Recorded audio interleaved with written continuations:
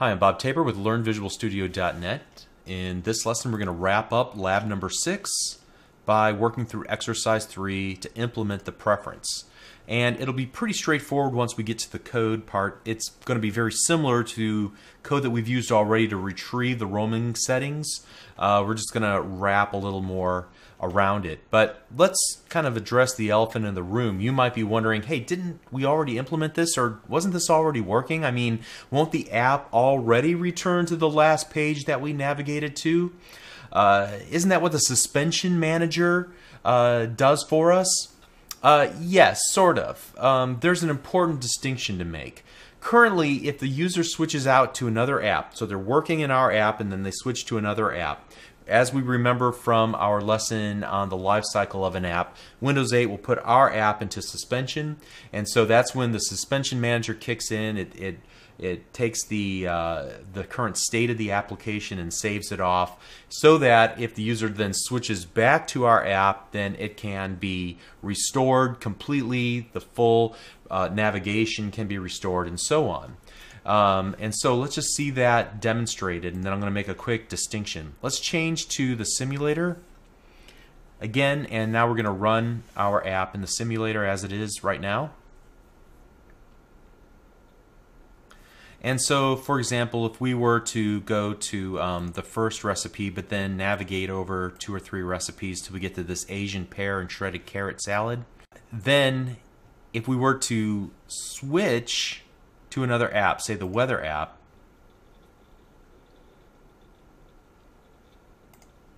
and then at some point we switch back to our app, we see we're brought back to the page we were last left off from, and that's where the suspension manager kicks in. But here's another scenario. What if we were, the user were to terminate the app and kind of bypass the suspension manager. And to do that, I'm going to switch over here and just use this swiping motion from top all the way to the bottom, which will automatically terminate the app.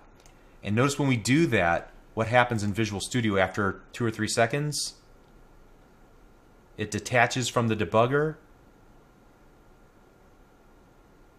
All right, so our app is completely removed from memory now. So the next time we run the app, it'll begin back on the start page. All right, so that is the scenario that we'll be addressing with this change that we make, okay? The difference between letting Windows 8 put our app into suspension and then terminate it versus the user going straight to termination.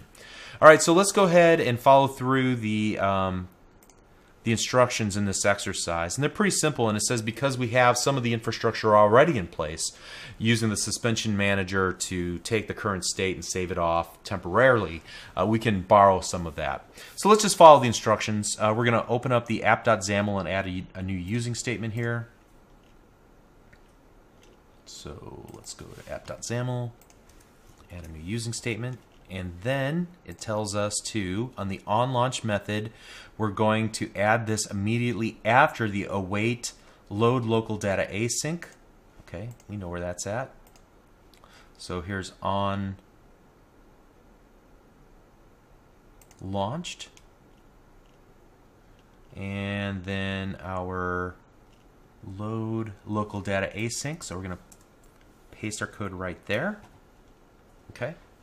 And so now if we look at the code, we've already seen how to retrieve data previously, but now we're going to wrap a little more structure around it where we're going to actually check to make sure that the roaming settings value key remember exists before we actually try to uh, retrieve it. And then if that value is set to true, we'll already call the restore async which has already been implemented for us because of, uh, of our use of the grid app template.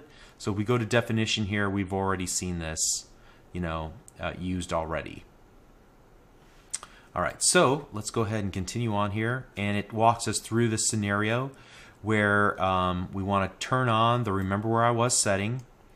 Uh, then we're going to uh, go to a recipe and then close the app by swiping down like that second scenario I showed you uh, allow Visual Studio to uh, for its process to end and then start up the app again and hopefully uh, it will come back to the page that we where we were before we closed the app, and then we're going to turn the toggle off and try it again and see that we should come back to the start page.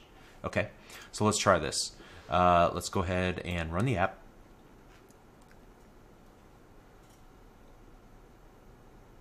All right, so let's go ahead and um, navigate into, uh, let's go to the Shanghai noodle and meatball soup. And here I'm going to get to the settings. And I'm going to make sure that our preferences are on, okay? And if they are, then I'm going to, or if they're not, make sure they are. And then I'm going to swipe all the way down. Whoops, I need the, the touch. I'm going to swipe all the way down switch back to Visual Studio, make sure that it ends on its own. And it does. And now when we restart, we should come back to that same soup. Great. Now to make sure that the setting is working, let's go ahead and hover over and get back to settings and go to preferences. And now let's turn that off and now let's navigate to a new page. Let's go to the fried rice menu page. And then I'm going to take that same swipe motion, switch back to Visual Studio.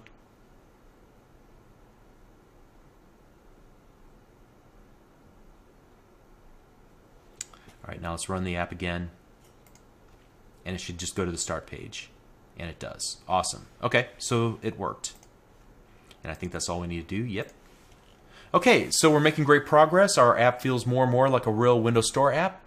In the next lesson, we're going to learn how to liven up our start uh, our app start page tiles with notifications. That's exciting. We'll see you there. Thank you.